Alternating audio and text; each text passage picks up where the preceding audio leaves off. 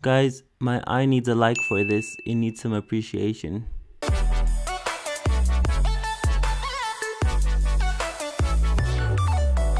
How's it going fellow photophiles? My name is Ilia and welcome to the weekly Wednesday vlog. Now earlier this month we hit 1000 subscribers which is absolutely amazing because earlier this year I even mentioned something like Wait, I'm gonna find it. I'll have this request system going until I get like a thousand subscribers, but that's probably gonna take a while. At that point, it was completely unrealistic for this channel to be hitting 1000 subscribers, so getting there before the end of the year even. We still have two months left till the end of the year, one and a half, whatever.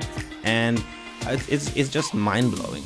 Now honestly I wanted to do something special, organize something, make a special video, maybe even do a giveaway like I did for the 500 subscribers one, but everything's just so crazy and I didn't have much time and because of the video about PewDiePie, the channel just like boom flew through 1000 subscribers. So some people are probably like, of course he had thousand subscribers, he made a video about PewDiePie and it's just popular and that's how he got there. And it, it's partially true, but it wasn't by accident and that's something I wanted to touch on in this video. I think in YouTube and generally in any career and even in life, everyone gets opportunities coming their way, but the difference is that some people are ready or willing to use them and others aren't. And that's one of the main reasons why consistency is so important on YouTube and generally across social media. Sure, there's the fact that your subscribers are looking forward to your video and knowing when you're gonna post is gonna, you know, satisfy their waiting.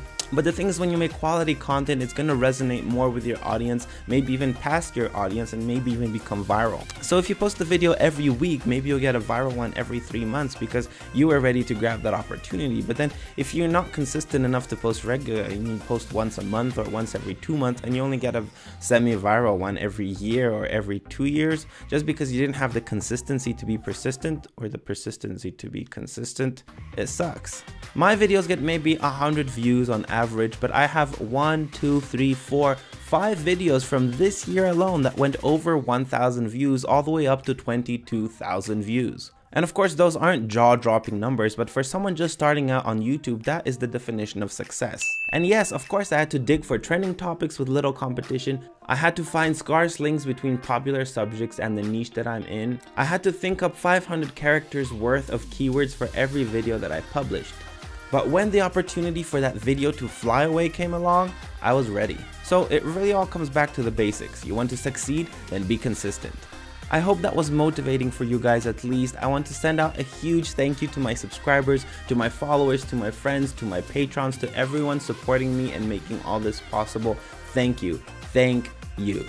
I hope you're enjoying my content so far and if you have any suggestions for how I can make it better or more tailored to your needs, let me know. Thank you for watching and as always I'm gonna see you guys next week. Where did I leave the cap for my lens? It's gonna get all scratched up.